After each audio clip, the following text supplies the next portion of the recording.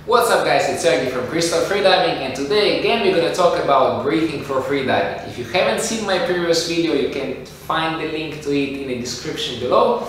Uh, on my first video I was talking mainly about like general aspects of breathing, why we're breathing and how we're breathing. If you're interested, uh, if you haven't seen it before, check, the, uh, check out the link in the description. So today we're going to talk about more specifically about how we're breathing before our breath hold and how we breathe after the breath hold and actually what we're doing during the breath hold.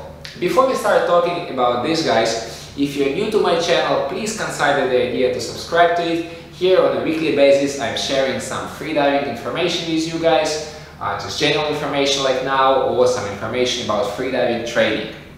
If you already subscribed to my channel, thank you very much, I really appreciate it please don't forget to click the bell button then the next time when I upload the video you're gonna receive notification. Okay, so breathing for freediving. If you've never done any freediving before, probably you're thinking, okay, like whenever you're ready to breath hold, I'm just gonna hold it.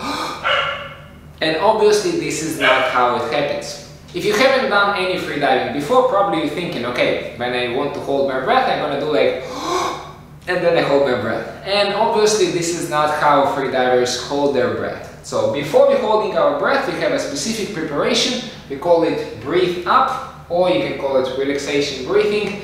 It's normally about two minutes, it can be slightly longer, it can be maybe three minutes, or it can be smaller, let's say one minute. It also depends how long you want to hold your breath. So you do relaxation breathing, uh, what we're trying to achieve here. We're trying to become as much relaxed as possible. There is a different ways how to do relaxation breathing. Maybe on a, one of my next videos I'm gonna uh, talk specifically about relaxation breathing.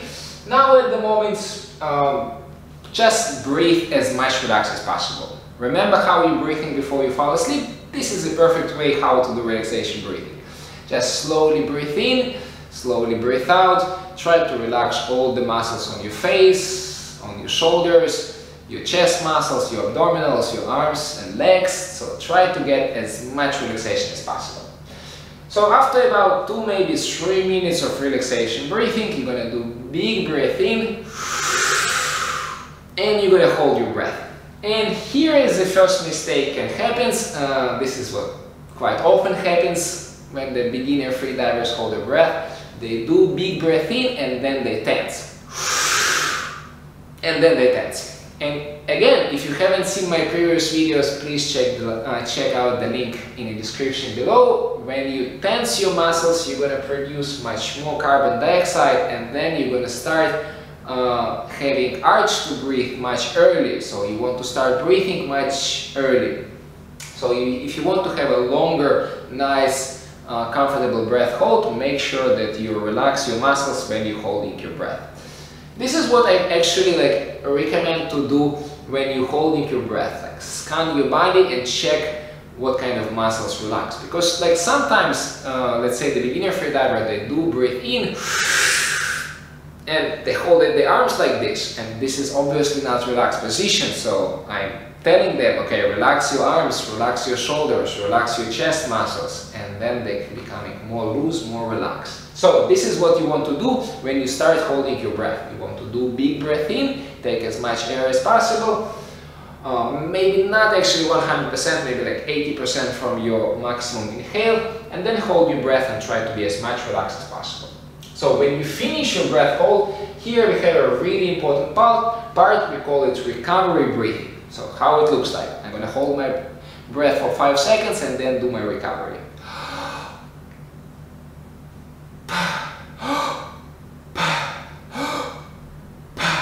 So what I'm doing, I'm quickly inhale and then I passively exhale. There is some people do recovery breath with a hook, so like and you hold it for a second and then you passively exhale like it's more like a preference. So some people just inhale and exhale, some people inhale, hold it for a second, then passively exhale.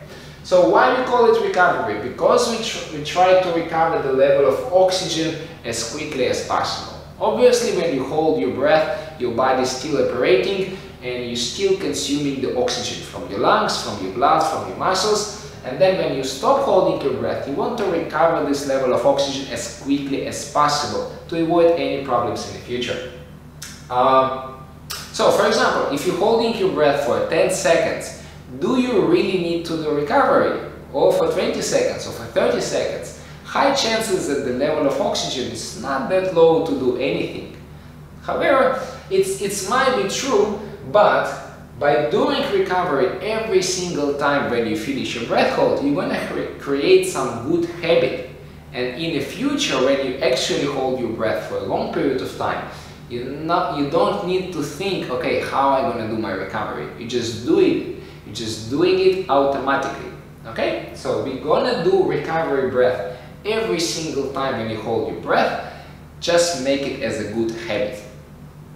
Alright, relaxation breathing before the breath hold, recovery breathing after the breath hold. So recovery, because we want to recover the level of oxygen as quickly as possible, and relaxation because we want to have our muscles completely relaxed.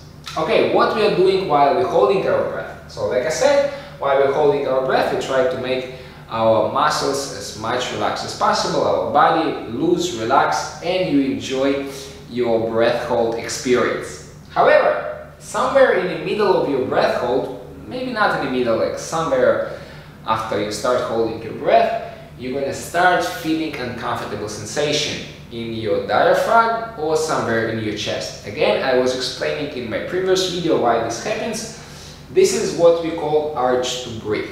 This is when your CO2 level reach, when your CO2 reach some level and then your brain send the signal for your respiration muscles let's get rid of this carbon dioxide. And this is where it starts to be a little bit uncomfortable.